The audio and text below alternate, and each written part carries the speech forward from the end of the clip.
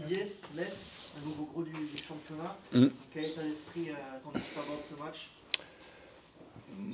Un esprit, un état d'esprit positif. Après, euh, j'ai lu aussi, je vois euh, par rapport à Metz, donc ils sont dans l'obligation, l'obligation de gagner. Ils ont même dit que ça serait bien que s'ils arrivaient à faire un, un carton plein jusqu'à la, jusqu'à la trêve de novembre. Donc, euh, si la logique est respectée par rapport au budget, par rapport à, aux infrastructures et tout, ben, euh, voilà, on, doit cocher la case 1 sur le, sur le loto sportif. Mais, mais, mais nous, on va tout faire en tout cas pour, euh, pour défier et continuer à, à emmerder les gros du championnat. La trêve vous a fait du bien On verra ça samedi. On verra ça samedi, mais aujourd'hui, oui, on avait quelques petits pépins, on en a encore un petit peu, donc euh, voilà, je pense que c'est mieux de partir à la trêve en, ayant, un résultat positif que, que négatif, donc tu récupères mieux, mais il va falloir se remettre au boulot parce que parce qu'on a fait quelque chose de bien les quatre derniers matchs, mais mais c'est pas suffisant. On est toujours euh, dans, la deuxième partie du classement. Euh, à nous de, à nous de bosser, d'être aussi solidaires et d'être euh, encore une fois solide. En sortie de trêve, justement, parfois c'est des matchs où la machine est un petit peu difficile à faire repartir. Elle sera peut-être difficile à faire repartir des deux côtés. Donc à, nous, voilà. non, mais à nous de, de, voilà. Nous, aujourd'hui, on a finalement, j'aime pas trop cette expression, mais voilà, on n'a rien à perdre dans, dans l'enjeu à mettre on a plutôt euh, euh, beaucoup de choses à gagner. Elle permettrait une bonne performance en Metz, ça serait quand même un tremplin important vers des matchs euh, de votre championnat qui suivent. Oui, mais ça serait. Voilà, j'ai toujours dit que. on ne calcule sur un match, sur deux matchs. Là, là ça fait quatre matchs qu'on n'a pas perdu. Donc, oui, ça commence à être une petite série. À nous d'essayer de, la continuer le, plus longtemps possible. La dernière fois que tu nous as parlé de l'autosport, c'était euh, contre Caen. Mhm. Est-ce que euh, l'approche est un peu la même? Même s'ils sont pas en forme comme quand l'été euh, au moment de vous, vous Mais l'approche, elle est, l'approche, elle est, elle est différente des, des, des, équipes qui sont à notre niveau. l'approche, elle est un peu similaire au match de Saint-Etienne, au match de Caen, au match, match de Metz, des équipes qui, qui, sont programmées pour aller vers le haut et qui ont, qui a une pression importante parce que, parce que je l'ai dit, euh, je crois que c'est hier, je fais, euh, que hum, ce championnat est très compliqué et sera très difficile euh, toute la saison parce que parce qu'à la fois d'un côté tu as quatre descentes et bah, tu as la pression de, de, de, de, la descente et de l'autre côté tu as une pression de montée parce qu'il y, y, a tellement de clubs qui, veulent, qui prétendent à, à essayer de remonter dès cette année que bah, ça met aussi une pression supplémentaire sur ces équipes-là. Justement, pression supplémentaire sur les quatre journées à venir. Là. Donc ils reçoivent Pau, et après ils ont les trois premiers du championnat. Euh... Oui, c'est pour ça qu'ils ont déjà coché une victoire contre nous. C'est ça, voilà. Mais à nous, à nous, à nous. Enfin, je sais pas si non, je sais pas s'ils ont pas. Non, mais je sais pas si. Voilà, si, je veux dire, en tout cas, ils veulent enchaîner une, une dynamique positive. Et j'espère qu'ils attendront encore huit jours de plus. Il y a six matchs avant la prochaine trêve Coupe du Monde. Trois matchs face à des gros, trois matchs face à des équipes de votre championnat, on va dire. Euh, combien de points euh, non, ça, je, ça, ça, ça, je ne veux pas le dire. Ça, on l'a mis en place, mais, mais moi, aujourd'hui, ce n'est pas les six matchs qui m'intéressent. Là, on est en train de parler du match de Metz. Donc, euh, je veux dire, moi, c'est sur ce match-là que je veux, je veux, je veux la mentalité qu'on a eue sur, sur, les matchs, sur les matchs contre Saint-Etienne, sur les matchs contre Caen, même Valenciennes où on n'a pas été bon, et essayer d'améliorer le contenu qui n'a pas, été, a pas été au top contre, contre Valenciennes. Donc, ça veut dire, aujourd'hui, contre cette équipe de Metz qui a un potentiel offensif important, c'est d'abord d'être solide, et puis, et puis de pouvoir les embêter dans le jeu pour parce qu'on ne pourra pas subir euh, toute, euh, toute, la, toute la partie. Donc, ce qui, ce qui m'intéresse aussi, c'est d'avoir le ballon et de bien l'utiliser. Donc euh, voilà, on a travaillé, on a, hum, on a régénéré aussi un petit peu. Donc j'ai vu des bonnes choses à l'entraînement cette semaine. Maintenant, il faut, continuer. voilà, aujourd'hui, si on veut être performant sur le, cours de la saison, je l'ai dit que l'année passée, on a fait très peu de nuls qui nous permettaient pas d'avancer. Cette année, on a fait un peu plus, mais il nous manque un peu de victoire. Donc euh, euh, voilà, si tu si arrives à gagner chez toi et que tu arrives à faire un petit point à l'extérieur, c'est aussi pas mal. Euh, je sais plus ce que vous voulez dire. Mais c'est pas mal diminué, euh, vous aussi. C'est ça. Euh, euh, comment, comment tu vas gérer ça euh, et en particulier le- les remplaçants euh, sur qui on peut compter euh, samedi? L'ensemble du groupe. Où en est Abdi par exemple? Comment? Où en est Abdi par exemple Abdi, il, fait partie de, voilà, il fait partie des joueurs qui, qui peuvent prétendre à, qui prétendre à jouer. Après, j'ai toujours dit que sur ces joueurs-là, que ce soit Aïe, ce soit Abzi, euh, tout ça, euh, il y a, euh, euh, il y a un temps d'acclimatation. Donc aujourd'hui, euh, il est en train de, je pense, un peu revenir parce que c'était pas assez suffisant. Euh, Aïe aujourd'hui euh, rentre aujourd'hui de sélection. Donc euh, c'est compliqué. Quand tu es parti 15 jours, tu arrives la, veille du départ. Donc on va voir comment, on- comment on fonctionne par rapport à ça. Mais, mais euh, j'ai toujours dit que j'avais l'ensemble du groupe à ma disposition pour, pour faire des compositions d'équipe. Ça sera le cas encore une fois avec, avec la suspension de Cécile et, et euh, la suspension d'Evans. Justement, par rapport aux internationaux, euh, de mon point de vue, la bonne nouvelle, c'est que Cécile n'est n'est pas allé Oui. en sélection. Il a pu rester avec vous. J'imagine que euh, il avait quelques petits pépins. J'imagine que Oui, oui, il y avait un peu de fatigue, et puis euh, voilà, après, ça, voilà, il, avait, il avait des petites douleurs qui fait que c'était pas opportun d'y aller. Les autres Est-ce que ça leur a fait du bien euh, Ouais, j'ai discuté avec, euh, avec Pape, euh, bon, il était content d'avoir fait les deux matchs. J'ai vu, j'ai vu le match de, de Haï euh, à la télé qui a joué dans les trois milieux euh, avec une défense à 5. voilà, après sur un, sur un rythme un peu moins important que celui-là qu'il peut y avoir en Ligue 2, mais, mais voilà, c'est toujours bien. Comme il manquait un peu de temps de jeu, c'est bien qu'il ait joué euh, pratiquement, euh, qu'il ait joué 90 minutes avec la sélection. Surtout dans ce système. Oui, surtout dans le système, et euh, voilà, j'en ai profité pour bien regarder. Comment va Jovan? Est-ce qu'il est capable de, jouer euh, Désolé. Comment va Jovan? Est-ce qu'il est capable de, de tenir maintenant sa 60 Jovan, Jovan est en train de, Jovan est en train de revenir. euh, euh, comme quand tu reviens d'une longue blessure, tu as des moments un peu d'euphorie où tu es, très très bien, tu as des moments où tu es un peu moins bien. Euh, voilà, on- en tout cas, Jovan peut prétendre à, à- Jovan sera dans le groupe.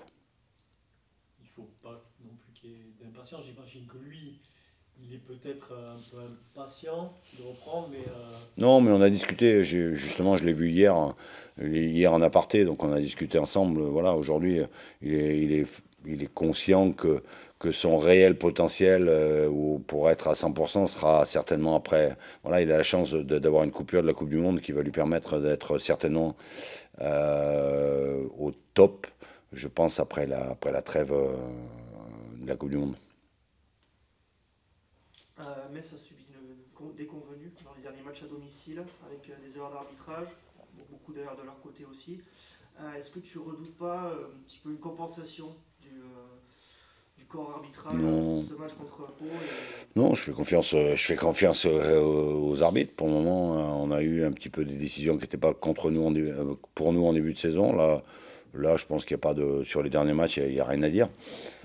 Euh, voilà, je suis pas sûr qu'il, euh, je suis pas sûr qu'il. euh, si je prends le match euh, de Guingamp, il y a une ou deux décisions moi, qui sont peut-être litigieuses. Les autres, elles sont sans appel. pas des blessés sinon d'autres Non, non, non, non, j'ai pas de, j'ai pas de réel blessé. Donc, tu as C'est- un groupe de combien là? J'ai un groupe de 20. Cécile, Ouais, j'ai un groupe de 20. Vance, Voilà, Cécile et Vance, et j'ai un groupe de 20. J'ai un groupe de 20 parce qu'on s'entraîne euh, tout à l'heure. J'ai un ou deux, j'ai une ou deux réponses à avoir dans le, dans le groupe euh, cet après-midi. Euh, oui, une dernière question. L'absence de- d'Evans, bon, elle, elle est pénalisante parce qu'il était en grande forme. Un flou sur euh, la manière dont tu vas, tu vas, tu vas jouer, mais est-ce que c'est euh, peut-être l'opportunité de lancer enfin euh, Nathan? Est-ce que les 15 jours là qu'il y a eu, ça a permis à Nathan de, travailler avec le groupe? Oui, mais je vais. Je vais. Oui, ben, Nathan, euh, Nathan est arrivé tard. Après, je vais maintenir ce que j'ai dit. Nathan est. Hmm, est capable de jouer dans les trois défenseurs, est capable de jouer dans l'axe euh, à 4, euh, est capable de jouer latéral à 4. Et pour moi, euh, pas, pas apte, ou c'est pas le, lui rendre service de jouer dans dans un rôle de piston. Donc, donc on verra dans quel système on va jouer. la coupure là elle tombe quand même dans une bonne dynamique. Vous étiez dans une bonne dynamique mhm. au moment de la coupure. Est-ce que c'est pénalisant selon toi ou, pas? Non, non, non, non, je l'ai dit, j'ai dit je préfère, euh, je préfère couper euh, quand on est bien. Je veux dire, ça veut dire qu'on récupère, ça veut dire qu'on peut travailler euh, sans une chape de plomb sur la tête pendant, pendant vraiment 10 jours. Donc pour moi, c'est pas. Non, je pense qu'elle est tombée bien. Maintenant, je te dirais après le match si elle était vraiment bien tombée ou pas. Ça veut dire que le oui, oui, non, mais c'est ça. Ça veut dire que quand tu n'es pas euh, dans des résultats positifs, c'est pas évident à gérer cette, cette, cette trêve. Parce que,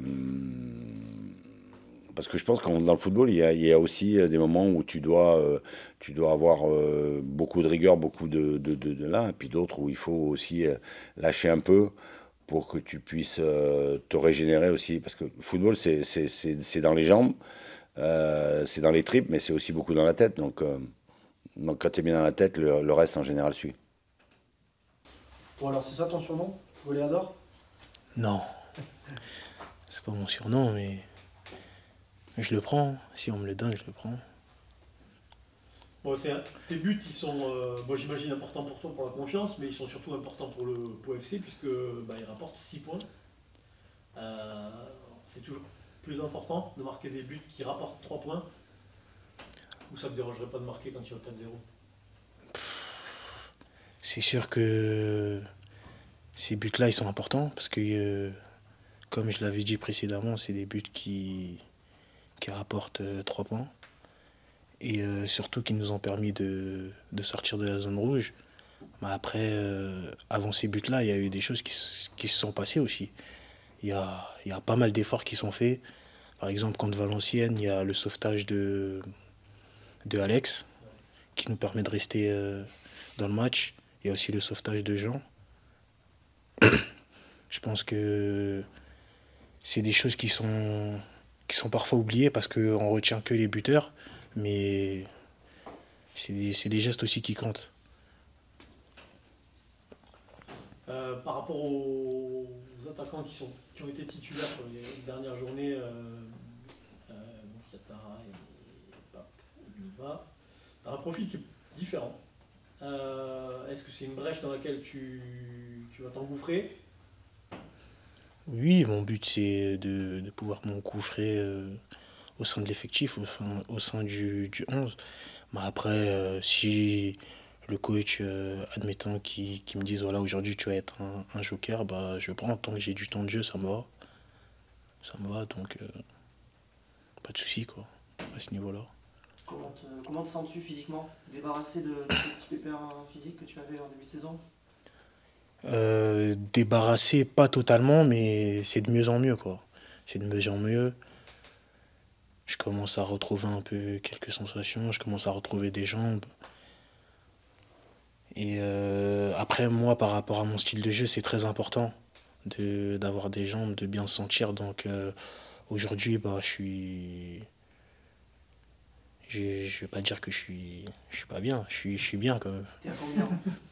Comment? T'es à combien? Je suis Non, je suis à 100%. Si je suis sur le terrain, c'est que je suis à 100%.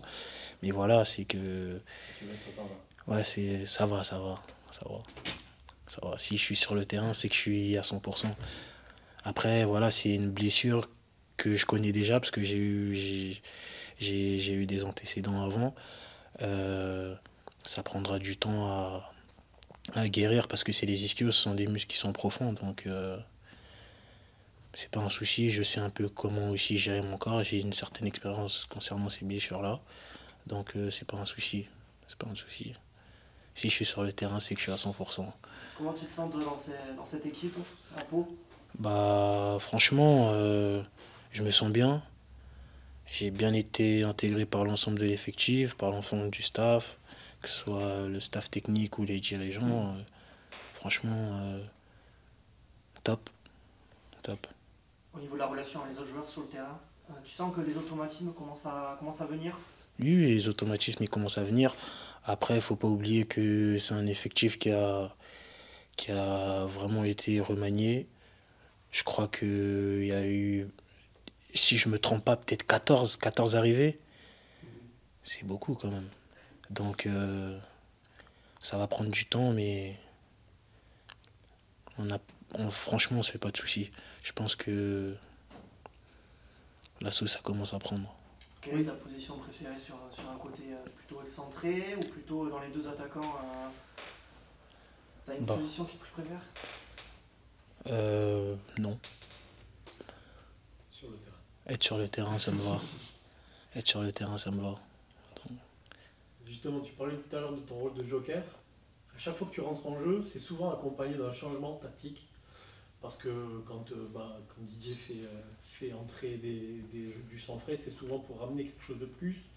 Et, il adapte souvent ça avec un petit changement tactique. Du coup, un coup vous jouez à 3, un coup vous jouez même à 4, je crois, à, Laval, je crois, vous êtes passé à 4. Euh, est-ce que toi ça te perturbe un peu d'un coup euh, jouer à 3, rentrer à 3, rentrer à 4 ou, pas du tout? Non, non, non. Pas du tout, pas du tout, justement. Euh, c'est quelque chose qu'il faut assimiler très vite et très tôt. Euh, moi, je me rappelle, euh, on me disait souvent que les, meilleurs joueurs, bah, c'est ceux qui arrivent à, s'adapter à n'importe quelle situation. Si on voit bien, bah, les meilleurs joueurs qui sont en 4-3-3, en 4-2-3-1, en 3-5-2, ils arrivent quand même à faire leur boulot. Donc, moi, c'est pas, c'est pas un souci. Après, je dis pas que je fais partie des meilleurs joueurs, hein. mais j'essaye de, de, comment dirais-je, bah, retranscrire sur le terrain ce qui est fait à l'entraînement, parce que ce qu'on fait, c'est, des choses qu'on travaille aussi à l'entraînement. Donc, c'est pas un réel souci, quoi. Quelle est ta relation avec le coach? On sait que c'est lui qui t'a, lancé, là, il t'a envoyé un petit, petit surnom. Quelle est ta, ta relation avec Titi bah, On a une bonne relation avec le coach c'est lui qui m'a lancé en pro, c'est lui qui m'a fait, qui qui m'a fait confiance quand on était euh, à Nancy. La relation elle est plutôt, elle est plutôt bonne. ouais, elle est bonne, c'est une, une bonne relation. Ah, c'est bien. Sur quel secteur il, il insiste pour sur, sur, le, sur lequel tu dois progresser? Moi, bah. Je pense que je dois progresser sur pas mal de points. Surtout lorsque je joue excentré, il ne veut pas que, que je sois excentré ou, ou euh, dans l'axe. Il n'aime pas euh, ma manière de décrocher, du coup il me, il me corrige souvent sur ça. Il me dit que lorsque je décroche, je dois pouvoir voir mon but et le but adverse. Et moi en général, quand je décroche, bah, je décroche beaucoup de haut jeu. Et surtout, euh, il me demande de, de mettre encore plus de, de. Quoi. Parce que c'est ça, parce que par moment, il, a l'impression que je suis un peu timide, nonchalant. Il, il, veut que je me libère, quoi. Que je sois totalement moi. Et euh, voilà les, quelques axes sur lesquels je dois encore progresser. Ça veut dire que t'es pas timide, parce que nous aussi c'est l'impression qu'on a. Comment? Ça veut dire que t'es pas timide, parce que nous aussi c'est l'impression qu'on a. On va dire que je suis, je suis réservé réservé, mais après, quand les gens me connaissent bien, bah, ils savent que je suis pas timide. C'est ce que j'avais entendu dire ah tu, retrouves, euh, tu retrouves la Ligue 2 là, avec Pau. Euh, dans quel état d'esprit tu es? Tu es un peu revanchard euh, un, la Ligue 2 un peu revanchard. Je pense que c'est gentil, je suis pas un peu revanchard, je suis très revanchard parce que j'ai commencé un peu à jouer en Ligue 2 à, Nancy. Après, ça, j'ai été blessé et après, je rentrais plus dans les plans du coach. Mais ouais, voilà, j'ai envie de montrer que je peux jouer en Ligue 2 et que j'ai le niveau pour jouer euh, en Ligue 2. Quoi. On a parlé de ta relation avec Didier. Vous avez un, gros point commun, c'est que vous êtes d'anciennement C1. C'est ça. Est-ce que le projet d'aller faire un coup à Saint-Symphorien, c'est kiffant Honnêtement, oui, parce que moi, euh, j'ai été formé à Nancy. J'ai passé euh, quasiment 10 euh, ans à Nancy. C'est une ville que j'ai appréciée énormément. J'ai que des bons souvenirs là-bas à part mes dernières années pro. Mais franchement, franchement, ouais, c'est une chose que. C'est le projet, ouais, clairement, c'est le projet. On aimerait rapporter, on aimerait revenir avec les trois points encore. Merci, Merci, merci beaucoup. Au revoir.